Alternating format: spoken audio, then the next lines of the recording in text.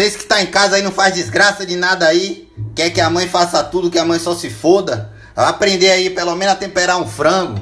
Corta o peito do frango aí, bota dentro de uma vasilha. Pode ser de sorvete.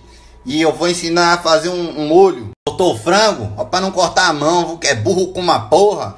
Cortar a mão, perder o dedo. Corta uns dentes de alho, bota dentro de uma vasilha. Aí você vai pegar um limão. Pegar um limão, espremer aqui dentro. Você espreme um limão aqui no alho. Ah, não tem um limão, se foda, tem que ter um limão para espremer. Não tiver limão, tome no seu cu. Procure um limão para poder espremer, que o tempero é só com limão. Meu limão aqui dentro do alho, pega um pouquinho de vinagre, um pouquinho só e joga dentro, só um pouquinho para dar aquele aquela refrescância. Agora você vai pegar aquele sal, pronto, tempero pronto e vai meter aqui, ó. Pode meter. Meter aí. Ah, não tem um sal pronto, bota o sal normal, porra.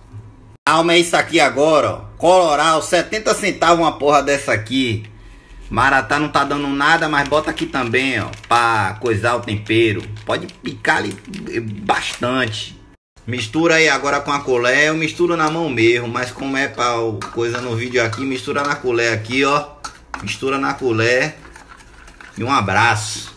Misturou, vacilão? Joga aí agora em cima do frango e mistura o frango com a mão depois. Vou fazer aqui que eu preciso das duas mãos. Vai ficar mais ou menos com esse aspecto aqui, ó.